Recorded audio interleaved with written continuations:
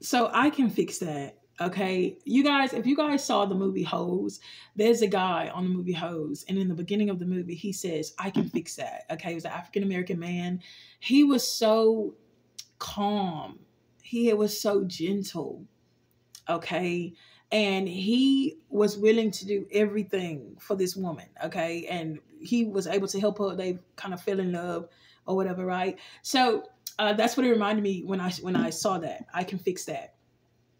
There's someone that's getting ready to come into your life and this person is going to uh this it could they could be in your life already but this person is going to have such a patience okay? This is a man.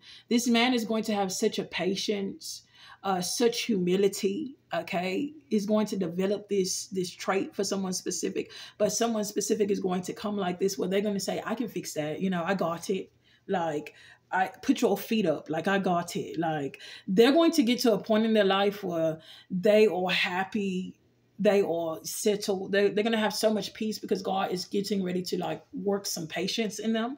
Okay, I'm seeing patience. This man is going to begin to have some patience.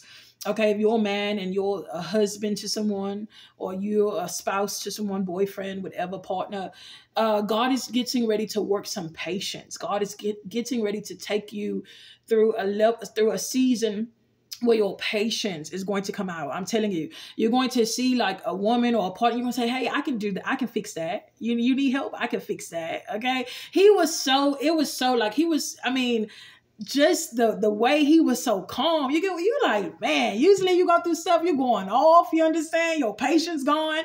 And I'm telling you, we can all be like that. But for someone specific, this will also be a woman.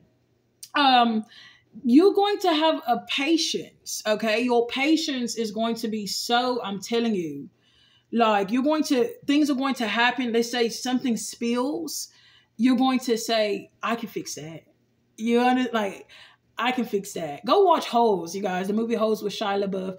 At the beginning of it, you'll see, um, I believe his name is Sam, okay? And he was just, I mean, he was ready to just, so he was so patient, okay? He was so patient and it was, um, he was an African American male. The other woman was a Caucasian male, but it's just the simple fact that like he was so, he has so much humility. He has so much submission. You understand? And he was so like it was like nothing really fazed. He he has such a beautiful spirit, okay? And God is getting ready to do this for a lot of people. You understand?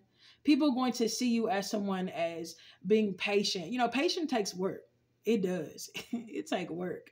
But people are going to see you that way, and it's going to be a blessing to a lot of